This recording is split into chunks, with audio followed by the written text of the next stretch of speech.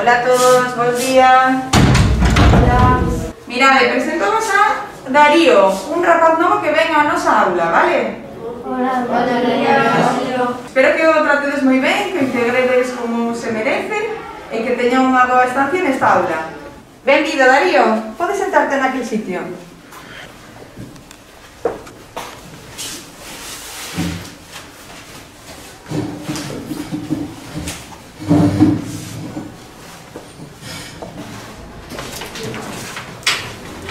Vale, ahora imos todos asociáis, por favor. Vale. Vale.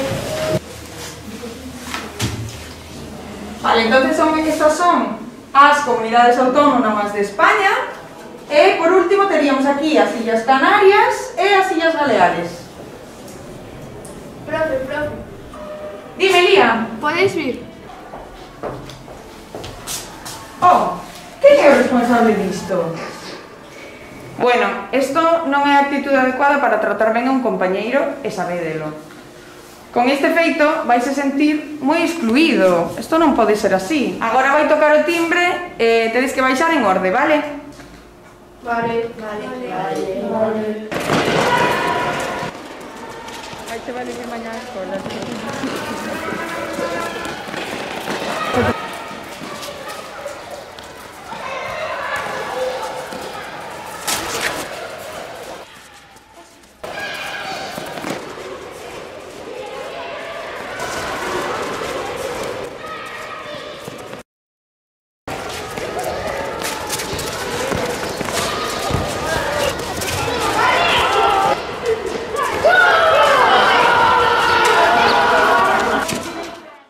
máis te vale non vir mañá á escola. Vale, tranquilo, non é que poñerse así. Iso, máis te vale. Ei, que? con este comportamiento teñemos que poñer un parte de incidencias. Non, profe, é culpa mía. Pero mirades, hai que saber ganar e perder. Non podedes poñervos así, a discutir entre vos. Tedes que portarvos ben para que haxa unha convivencia sana no, no, no centro, a que todos podamos convivir ben e felices. Jope, pola súa culpa imos levar, imos levar un parte. Xa, non le vou a falar máis. Xa verá mañán. Mañán non va tocar o balón. Así non vou facer moitos amigos aquí. Teño que pensar en algo para que me acepten. E se mañán lle pido xogar no seu equipo? Se vexo que mañana hai un penalti, vou lle dar o balón a Mario. Prefiro ter amigos que meter goles. Mirade, queda un minuto para baixar ao recreo. Recordo vos que onte houve problemas, xa me dixo Fabián, vale? Entón, No quiero que se vuelva a repetir. ¿De acuerdo? De acuerdo. Quiero que salgáis todos juntos. ¿Sí? Vale. Vale.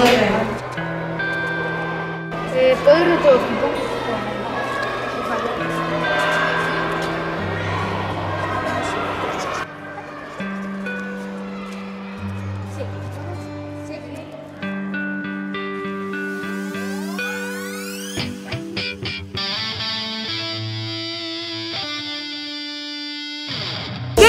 abrazo.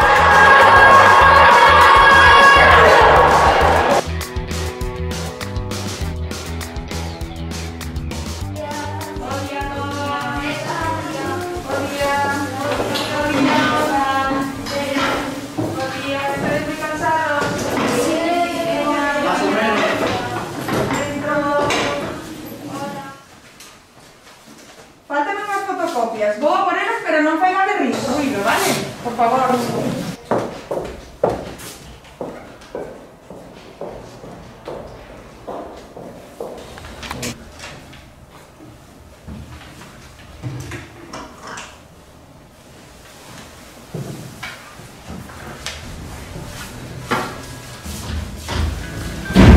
Gracias por venir de donde. Siento mucho haberte tratado así. Eres un buen amigo. é moito mellor levarnos ben que meter goles. O mellor de todo isto é que agora todos somos amigos.